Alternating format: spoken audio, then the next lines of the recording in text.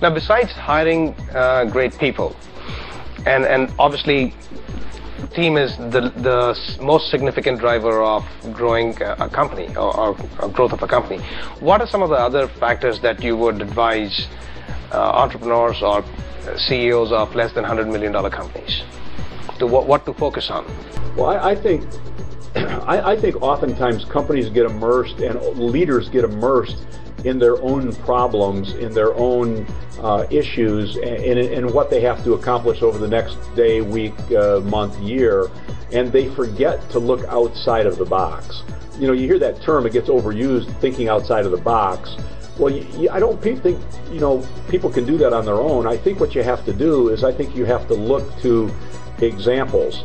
In our industry, there were a couple of companies that became multi-billion dollar companies and they're they're publicly held companies today, but they started out as, as privately held companies and they went through all the things that we did um, about five years before we went through them. And so I spent a ton of time looking at them, learning from them, and trying to understand where they had where they made hit great home runs and they did well, and also, excuse me, where they had issues where there were, for example, where they, they changed their model a little bit and their service dropped. And so I think people can do a better job researching and, and get less involved in the day-to-day operation of your business in more time and spend more time on the theoretical thinking of what do you want to be when you grow up.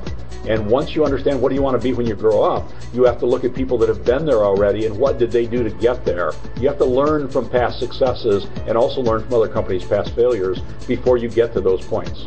That is true. Uh, you, you have to constantly learn and grow. And to learn, th- there's nothing better than identifying those who have done exactly the same thing before you. Oftentimes, CEOs will continue to find solutions within, but uh, like you said, you have to think outside of the box, which begins with thinking outside of yourself uh, uh to start with. Um, now, in retrospect, and this is my last question, in retrospect, knowing what you know today, if you were knowing what you know today in 1975, how do you think you would have done things differently and how do you think you would have grown?